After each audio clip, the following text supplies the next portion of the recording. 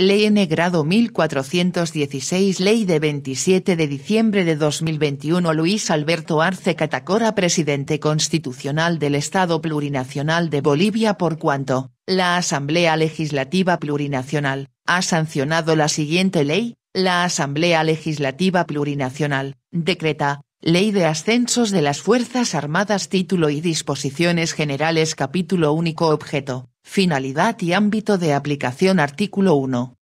Objeto. La presente ley tiene por objeto establecer las bases normativas para el ascenso del personal de las Fuerzas Armadas del Estado Plurinacional de Bolivia. Artículo 2. Finalidad.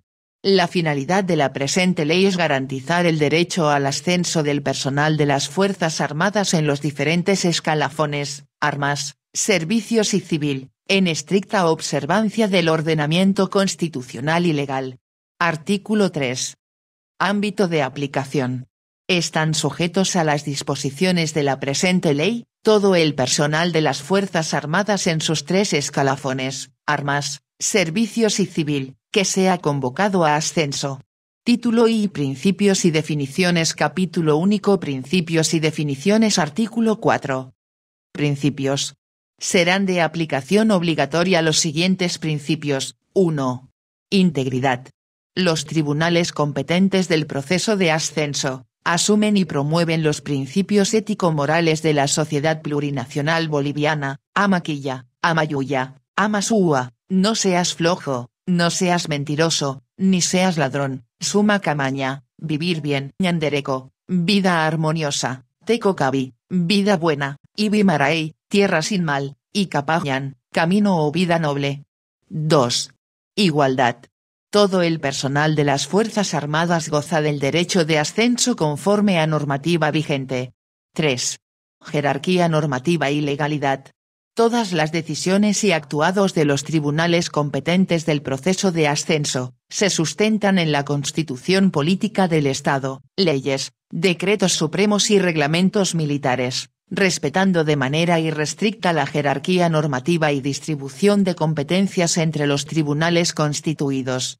4. Imparcialidad. Los tribunales competentes del proceso de ascenso, en sus decisiones y actuados, son independientes, están libres de prejuicios de cualquier índole, no discriminan ni otorgan tratos diferenciados que favorezcan o perjudiquen a los aspirantes. 5. Objetividad. El proceso de evaluación debe basarse en la observación de hechos reales y verificables, dictaminando juicios imparciales y sin prejuicios. 6. Meritocracia. Los ascensos están basados en los méritos, la promoción será el resultado del merecimiento logrado a lo largo de la carrera militar, conforme a la regulación. 7. Disciplina. El personal de las Fuerzas Armadas es esencialmente obediente en el ejercicio de sus funciones, derechos y obligaciones, con disciplina inexorable, rigurosa y consciente que se expresa en el cumplimiento del deber establecido en la Constitución Política del Estado, con lealtad a la patria y a la institución. 8. Ética. La carrera militar exige el cumplimiento incondicional de los principios éticos que sustentan a la institución y orientan la conducta del personal de las Fuerzas Armadas, de acuerdo con la regulación específica. 9. Publicidad y transparencia. Todas las decisiones y actuados de los tribunales del proceso de ascenso, son públicos y transparentes conforme a los procedimientos normativos establecidos. No se negará ni restringirá el acceso de los expedientes, a los postulantes y a quienes demuestren interés legítimo. Artículo 5. Definiciones. 1. Ascenso. Es el derecho que se le reconoce al personal de las Fuerzas Armadas de los diferentes escalafones, que cumplen con todos los requisitos exigidos en las disposiciones legales y reglamentarias para acceder al grado inmediato superior de acuerdo a las necesidades orgánicas de la institución. 2. Grado militar. Es un sistema jerárquico para establecer la escala de mando que se usa en las Fuerzas Armadas. 3. Escalafón es el registro clasificado y ordenado de todos los miembros del personal de las Fuerzas Armadas, cuya organización es responsabilidad de cada fuerza. 4.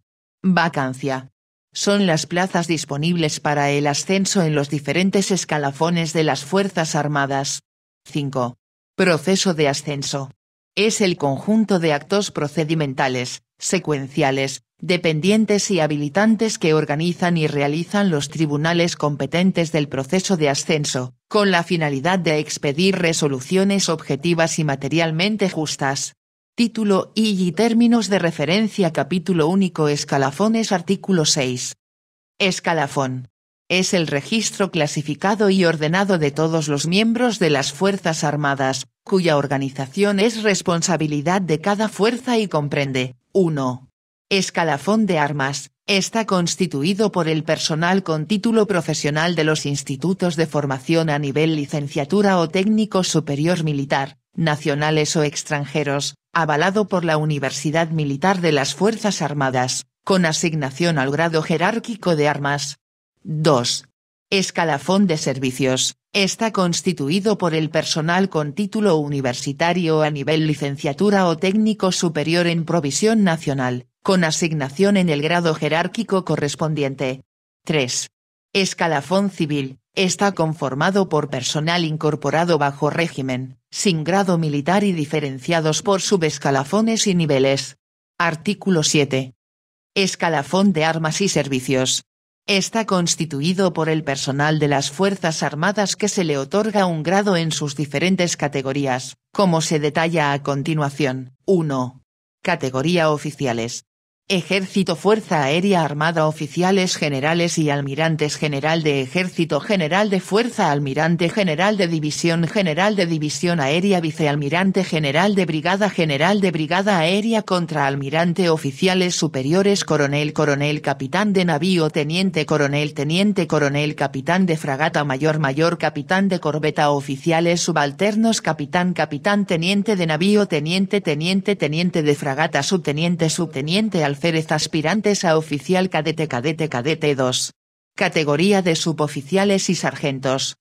Ejército Fuerza Aérea Armada Suboficiales Suboficial Maestre Suboficial Maestre Suboficial Maestre Suboficial Mayor Suboficial Mayor Suboficial Mayor Suboficial Primero Suboficial Primero Suboficial Primero Suboficial Segundo Suboficial Segundo Suboficial Segundo Suboficial Inicial Suboficial Inicial Suboficial Inicial Sargento Sargento Primero Sargento Primero Sargento Primero Sargento Segundo Sargento Segundo Sargento Segundo Sargento Inicial sargento inicial sargento inicial aspirantes a sargento alumno alumno alumno artículo 8. Escalafón civil. Está conformado por los siguientes subescalafones y niveles. 1. Subescalafón profesional, está conformado por el personal con título en provisión nacional, otorgado por el sistema de la Universidad Boliviana o por el Ministerio de Educación a nivel licenciatura, de acuerdo a los siguientes niveles. Ejército Fuerza Aérea Armada Profesional V Profesional V Profesional V Profesional I Profesional I Profesional I Profesional I Profesional I Profesional I Profesional I Profesional I Profesional I Profesional I Profesional I Profesional I 2. Subescalafón técnico, está conformado por el personal con título en provisión nacional, otorgado por el sistema de la Universidad Boliviana o por el Ministerio de Educación a nivel técnico superior y barra o medio, de acuerdo a los siguientes niveles. Ejército Fuerza Aérea Armada Técnico V Técnico V Técnico V Técnico I Técnico I Técnico I Técnico I Técnico I Técnico I Técnico I Técnico I Técnico I Técnico I Técnico I Técnico I 3 Subescalafón administrativo, está conformado por el personal con título de bachiller otorgado por la Universidad Boliviana, el Ministerio de Educación y barra o certificados en el área administrativa expedida por los institutos comerciales, de acuerdo a los siguientes niveles, Ejército Fuerza Aérea Armada Administrativo V Administrativo V Administrativo V Administrativo IVA Administrativo IVA Administrativo IVA Administrativo IGI Administrativo IGI Administrativo IGI Administrativo IGI Administrativo IGI Administrativo IGI Administrativo y Administrativo y Administrativo I4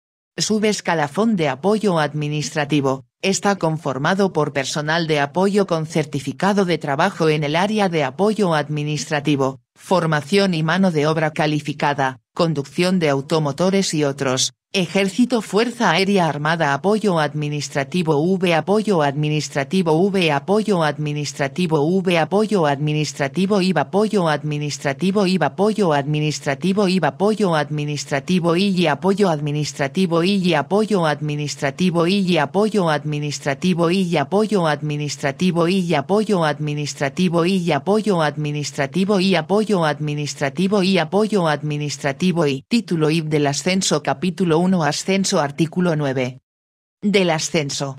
El ascenso es el derecho de promoción al grado inmediato superior, que se confiere al personal de las Fuerzas Armadas, que haya cumplido con todos los requisitos establecidos en la Constitución Política del Estado, la presente ley, decretos supremos y los respectivos reglamentos.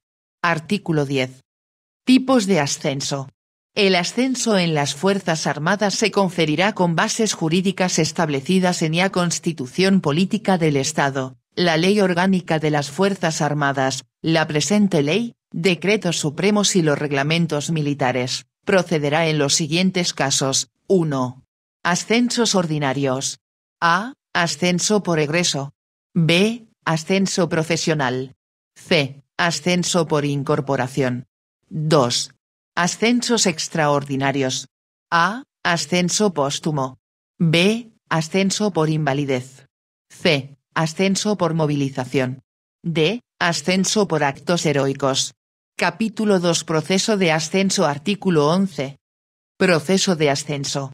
Es el proceso que tiene por finalidad promover al personal al grado inmediato superior, a través de una minuciosa evaluación de los documentos del personal convocado a ascenso. Artículo 12. Etapas del proceso de ascenso. El proceso de ascenso en las Fuerzas Armadas, está comprendido por las siguientes etapas. 1. Verificación por parte del Departamento y Recursos Humanos barra personal de cada fuerza, de los antecedentes y requisitos del personal que podrá ser convocado a ascenso al grado inmediato superior.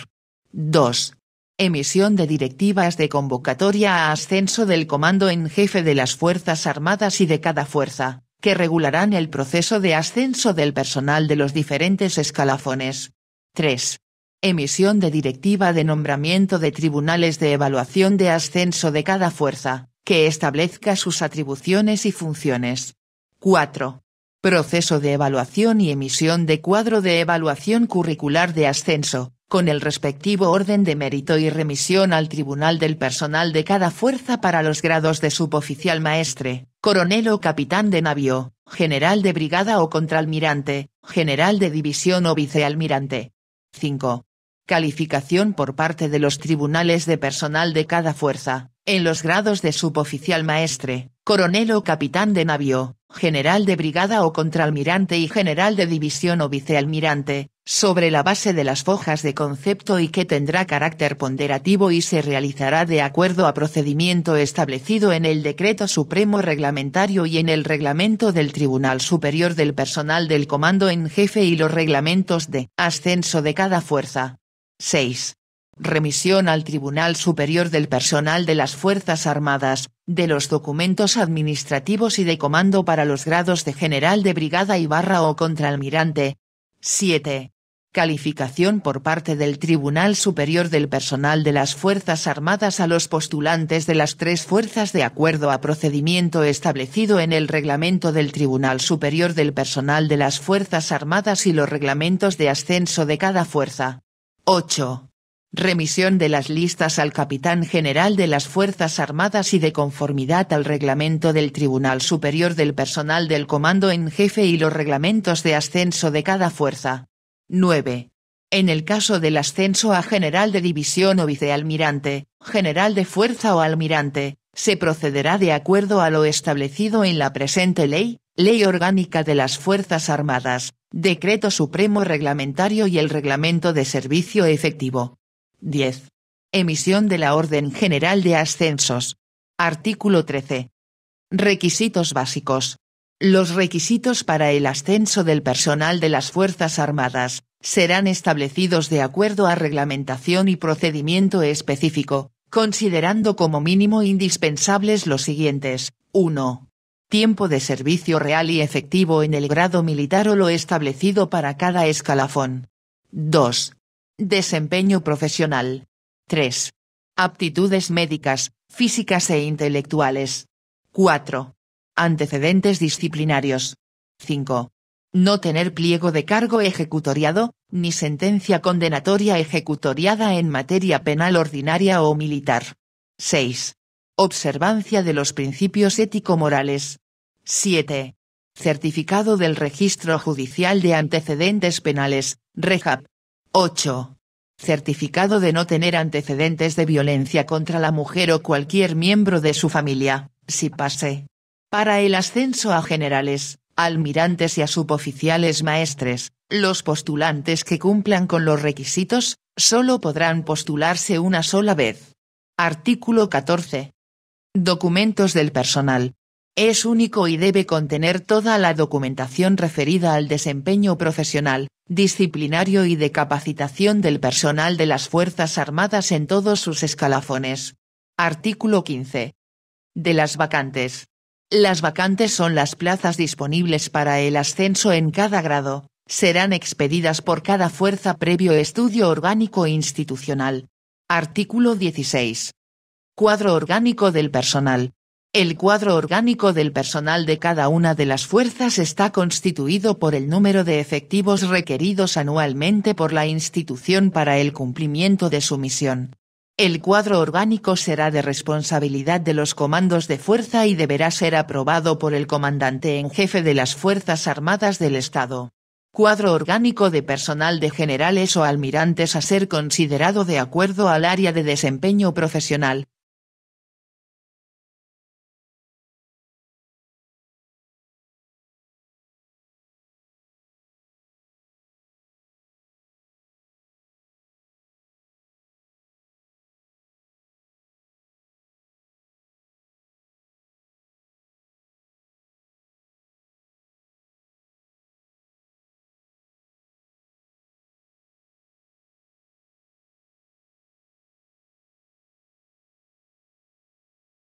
Artículo 17.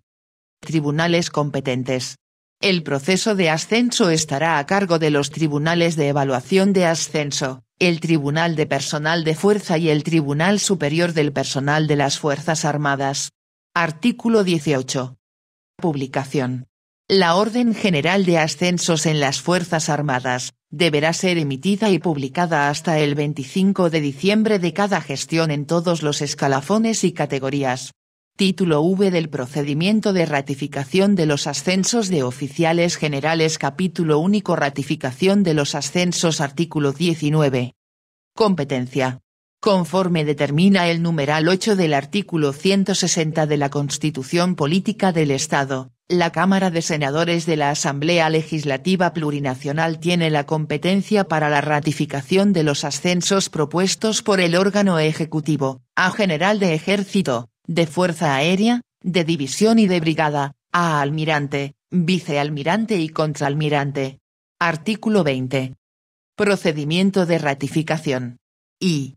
Radicada en la Presidencia del Senado la solicitud de ratificación de los ascensos a General de Ejército, de Fuerza Aérea, de División y de Brigada, a Almirante, Vicealmirante y Contraalmirante, la Presidenta o Presidente de la Cámara, en un plazo no mayor a 48, 48 horas, la remitirá a la Comisión de Seguridad del Estado, Fuerzas Armadas y Policía Boliviana, para la revisión de los antecedentes, verificación del cumplimiento de los reglamentos militares y emisión del informe respectivo.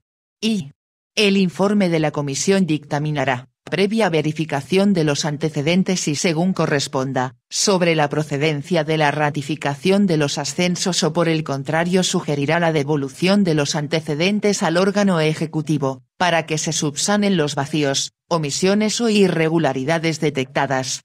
Y, en base al informe, con el voto de la mayoría absoluta de las senadoras y senadores presentes en sala, el Pleno Camaral ratificará los ascensos que hubieran superado la revisión de antecedentes, efectuada por la Comisión, de lo contrario resolverá la devolución al órgano ejecutivo de los antecedentes de aquellos ascensos respecto a los que se hubiera evidenciado vacíos, omisiones o irregularidades a fin de que estos sean subsanados. Y la consideración del informe se realizará en sesión reservada y la votación será por escrutinio. Disposición adicional única. La categoría de oficiales de las Fuerzas Armadas, tendrá la jerarquía establecida y preeminencia en la ejecución de operaciones militares y barra o actividades interinstitucionales en cualquier parte del territorio nacional. Disposición final única. La reglamentación a la presente ley estará a cargo del órgano ejecutivo. Remítase al órgano ejecutivo para fines constitucionales. Es dada en la sala de sesiones de la Asamblea Legislativa Plurinacional, a los 16 días del mes de diciembre del año 2021. FDO. Andrónico Rodríguez Ledezma, Miriam Martínez Michaga, Pedro Benjamín Vargas Fernández, Miguel Ángel Rejas Vargas, Alexandra Centeno Cardozo, Walter Villagra Romay. Por tanto, la promulgo para que se tenga y cumpla como ley del Estado Plurinacional de Bolivia. Casa Grande del Pueblo de la Ciudad de La Paz, a los 27 días del mes de diciembre del año 2021. FDO. Luis Alberto Arce Catacora, Marianela Prada Tejada, Edmundo Novillo Aguilar, Iván Manolo Lima Magne.